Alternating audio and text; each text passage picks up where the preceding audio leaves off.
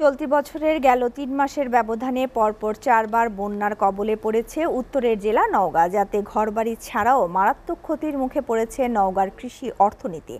এমন অবস্থায় কৃষকদের ঘুরে দাঁড়াতে দ্রুতই সরকারি সহযোগিতা চেয়েছেন এই অঞ্চলের মানুষ। নওগাঁ প্রতিনিধির তথ্য ছবিতে রিফাত হোসেন সবুজের ডেস্ক রিপোর্ট। নওগাঁর মান্দা উপজেলার নুরুল্লাবাদ এলাকার আমনের মাঠ এটি। ধান গাছগুলো বন্যার পানিতে পচে নষ্ট হয়েছে কদিন আগেই। শুধু এই মাঠেই নয় জেলার তিনটি উপজেলার এমন হাজার হাজার হেক্টর মাঠের ফসল নষ্ট হয়েছে এবারের বন্যায়। ভেসে গেছে বহু পুকুরের মাছ। ক্ষতিগ্রস্তরা বলছেন, দীর্ঘদিন বন্যার পানি জমে থাকায় ধান কিংবা সবজি কোনোটি থেকেই আর ফলন আসবে না। ফলে সামনের দিন কীভাবে চলবে তা নিয়ে দুশ্চিন্তায় নওগাঁর কৃষক। আর নেওয়া যাবে না। বন্যায় যে ক্ষতি হচ্ছে সেই ধান আর নেওয়া যাবে না ভাই। কারণ হচ্ছে বন্যায় ক্ষতি মানে ধান পচে গেছে।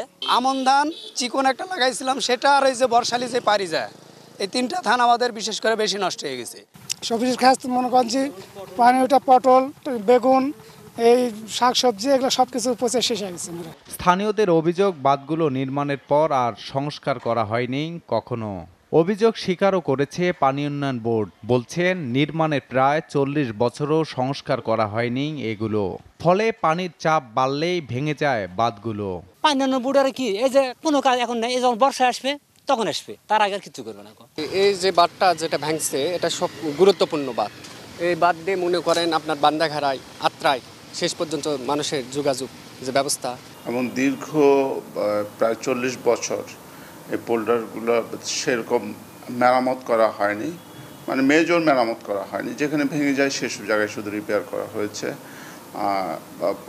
যার ফলে আপনার বাঁধগুলো বেশ ঝুঁকির মধ্যে রয়েছে। কৃষি বিভাগের তথ্য অনুযায়ী এবছর বন্যায় কৃষিতে ক্ষতির পরিমাণ দাঁড়িয়েছে প্রায় একশো সতেরো কোটি টাকা। এর মধ্যে ক্ষতিগ্রস্তদের ক্যাটাগরি ভিত্তিক তালিকা তৈরি শুরু হয়েছে।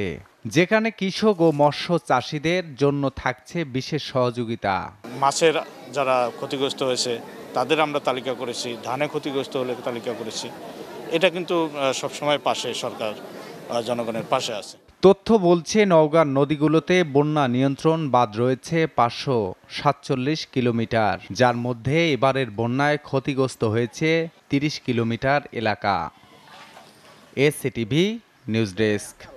প্রিয় দর্শক, জাতীয় এবং আন্তর্জাতিক সবশেষ সংবাদ জানতে ভিজিট করুন এসএটিভির ওয়েবসাইট www.sativ.tv-তে বিনোদনমূলক অনুষ্ঠান উপভোগ করতে সাবস্ক্রাইব করুন আমাদের YouTube channel YouTube dot com slash বিডিতে যেখানে নিয়মিত কমেন্টস করে জানাতে পারেন আপনাদের মূল্যবান মতামত।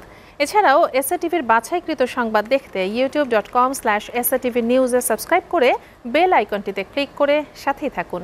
প্রতি মুহূর্তে সর্বশেষ তথ্য ও বিনোদন পেতে লাইক দিয়ে যুক্ত থাকুন আমাদের Facebook page Facebook dot com slash SATV বিডিতে SATV সাথে আছি সবসময়।